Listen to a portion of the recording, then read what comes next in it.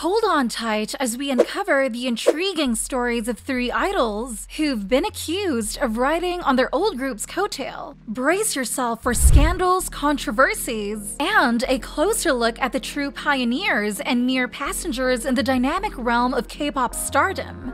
In K pop, we've witnessed countless idols embark on solo ventures or join new groups after bidding farewell to their original stardom. While some idols manage to spread their wings and soar to new heights, there are a handful who seem to be clinging to the fame and success of their former group. So, in today's video, let's see if these idols really take advantage of their former act's reputation or just simply hitch the ride.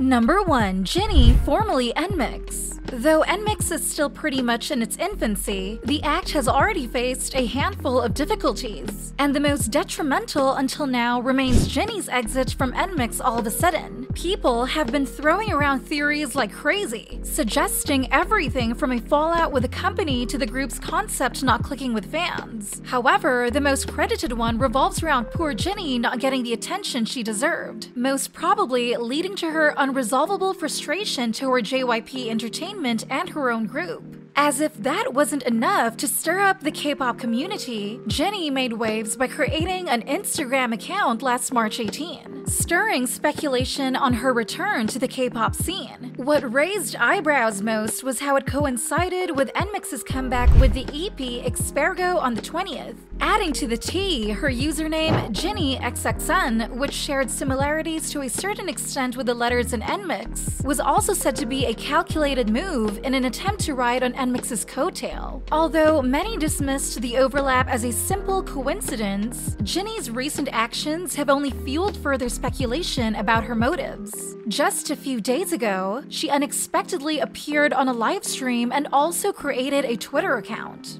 Of course, it's hard to say for certain what her real intention was, but one thing is clear. Jinni's moves have further fueled the criticism that she has been leveraging NMIXX's reputation, calculating every new move to be in sync with the act's comeback for the sake of enjoying the same heat. Number 2. Jessica, formerly SNSD. So, there have been some seriously weird and questionable moments involving Jessica and her former group SNSD. But now, it has seemingly gotten to the point where fans just can't come up with any excuses for her behavior anymore. Let's start with the time she pulled a total surprise move. Back in September 2014, SNSD had this event planned in Shenzhen to meet fans, but only eight members arrived at the airport. While fans were scratching their head as to where Jessica was, she was seen on Weibo hinting she had been kicked out of the group by the other members. On the same day, SM Entertainment confirmed that Jessica was no longer part of the group. Then, drama followed drama. The first incident making people suspect Jessica's trying to ride on SNSD coattail was in December 2014, when SNSD was celebrating their epic performance at Tokyo Dome with a whopping 50,000 fans. But Jessica was seen deleting all the group photos from her social media.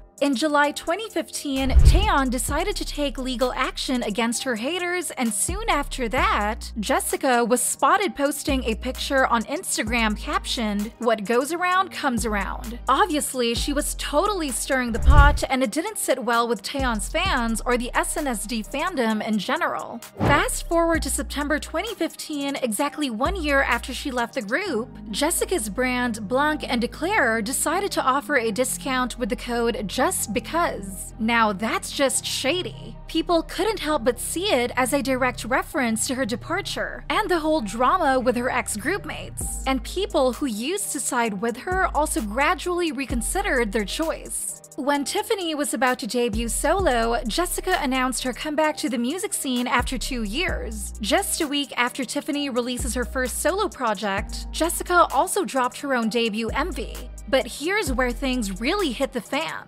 On August 15, 2016, Tiffany unintentionally gets caught up in a major controversy. She posts a photo with a sticker featuring the rising sun flag, which stirs up some heated debate on Korea's Independence Day. Surprisingly, on the same day, Jessica shared a picture of herself with the caption, I love Seoul, like a little jab at Tiffany's scandal right then and there. There are even more incidents where Jessica posted stuff on social media that seemingly poked fun at her former group. For example, this time, some were really mad about how she had to go and post a picture questionably captioning, Sit back, relax, and enjoy the show. On the very same day, three other members officially parted ways with SM Entertainment. Then, she was seen making a comeback with an MV that feels like a follow up to SNSD journey. On August 5, 2017, SNSD confirmed the return with two catchy tracks, Holiday and All Night, as they celebrated their incredible 10 year anniversary. Soon, Jessica also announced her own comeback project marking her own 10 year milestone. Surprisingly, Jessica's teaser dropped around the same time as SNSD comeback, and some fans noticed similarities between between her MV for Summer Storm and the vibe of All Night. It's like a continuation of the party.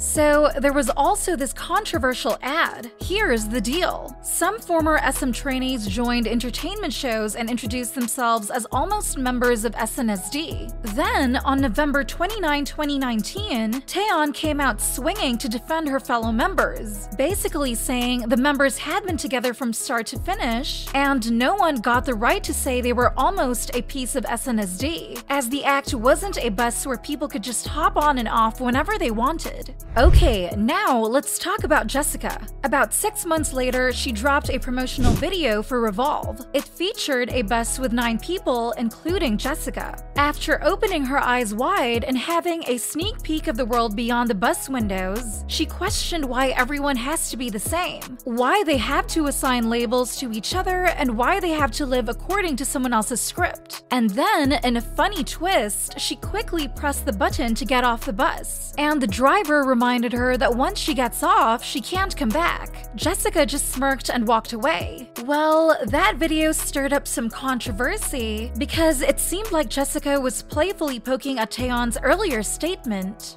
Most recently, it has also been quite a buzz when Jessica released her first novel, Shine, on September 30th. The timing was uncanny since it was the same day she left SNSD way back then. She also dropped her second novel, Bright, on the exact same day SNSD made their comeback. No matter where you stand on the matter, you have to admit that it created quite a stir. Jessica knows how to keep people talking, and her novels became the hot topic of the moment. It's fascinating to see how a simple release date can ignite so much excitement and controversy.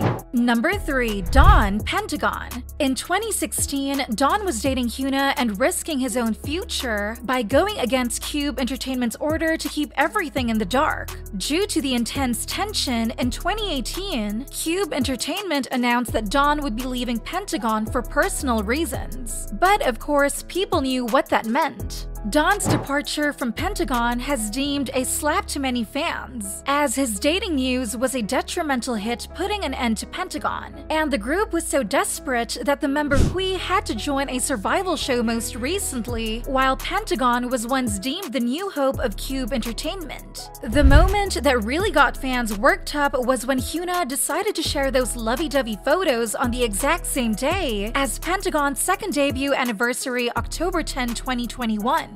It left fans scratching their heads and wondering what exactly Dawn was thinking when letting Hyuna hit that upload button as the main cause shattering the whole career of Pentagon, and has always been said to be him and his relationship. They also wondered why he had to ride on the Axe coattail till the end, while all that was left was Pentagon's reputation as the rookie idol group with three dating scandals in one day. After this, Dawn was also criticized for being in a selfish relationship relationship that costs too many people too much, and some even wished him a flopped career for good. Do you think these idols were really leveraging their former act's reputation? Or netizens have been blowing this out of proportion from mere coincidences?